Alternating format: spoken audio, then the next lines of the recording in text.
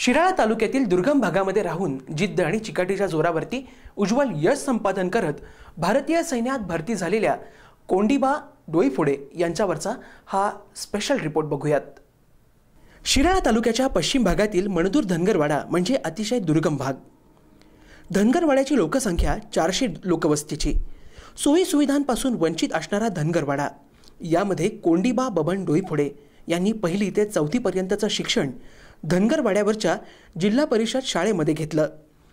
त्यानंतर त्यांनी श्री कमला माधव विद्यालय गुडे इथं पाचवी ते दहावीमधलं शिक्षण घेऊन त्यांनी उच्च शिक्षणासाठी अकरावी बारावीसाठी आरळा येथील गांधी सेवाश्रम माध्यमिक उच्च माध्यमिक या विद्यालयामध्ये प्रवेश घेतला. घरची परिस्थिती बेताची. त्यातच आठ ते नऊ किलोमीटर पायी प्रवास करून बारावीची परीक्षा उत्तीर्ण केली. या परिस्थितीमध्ये जिद्द चिकाटीच्या जोरावर त्यांनी कोल्हापूर इथं झालेल्या मे दोन हजार सोळाच्या भरतीमध्ये त्यांची इंडियन आर्मीमध्ये निवड झाली. सध्या ते बेंगलोर इथं प्रशिक्षण घेत आहेत. यावेळी जिल्हा परिषद शाळा मणदूर धनगरवाडा येथील मुख्याध्यापक श्री आशिष कांबळे श्री कमला माधव विद्यालय गुडे येथील मुख्याध्यापक आर एस पाटील गांधी सेवाश्रम विद्यालय आरळा येथील शिक्षक मुलाणी सर यांचं त्याला मोलाचं मार्गदर्शन लाभलं.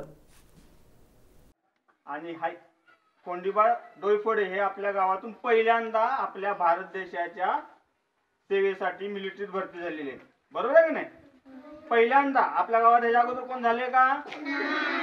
कोंडिबा बबन डोईफोडे मंजूर धनगरवाडा ग्रामीण भागातील मी पहिली ते चौथी शिक्षण इथं मंजूर धनगरवाडा जेपशाळा मंजूर धनगरवाडा तिथे केले.